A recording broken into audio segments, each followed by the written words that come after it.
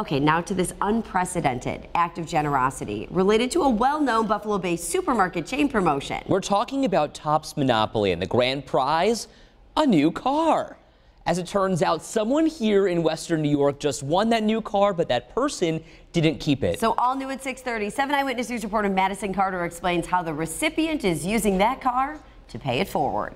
It was, wasn't like, didn't have, you know, big red letters or, you know, pictures of fireworks or anything. It just said, you have won a car. And in similar fashion, Mary Bisson, who recently won a brand new car playing Tops Monopoly game, sent a note to a young woman she and her husband recently met while they were volunteering at the Western New York Peace Center. So the email just said, um, you know hey Silver, give us a call. Uh, we just need to chat about something. Silver Light didn't think much of the note. Maybe she thought they needed help with a project or a contact for something. But what Mary Bisson said when Silver picked up the phone Oh my God, she started screaming. was the last thing she expected. I think we want a car.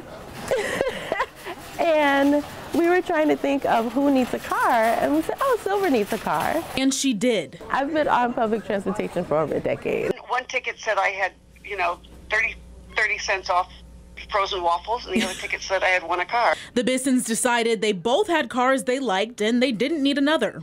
Hey, do you want it? yes, I want it. Tops Markets says it's never seen generosity like this from the winners of its Monopoly game. This is the first time in the 10-year history of the Monopoly game at Tops that they actually paid forward their, their prize. Silver says there are not words to thank the Bissons for what they've given her. I don't think that anything kind of compares to someone's generosity in that way. The only thing you can do is continue to uh, be generous yourselves. Continue to take care of the environment and be generous. That is the plan for Silver. She says she's eyeing the Nissan Leaf, which is fully electric. In studio, Madison Carter, 7 Eyewitness News. There you go. How do you like that? She said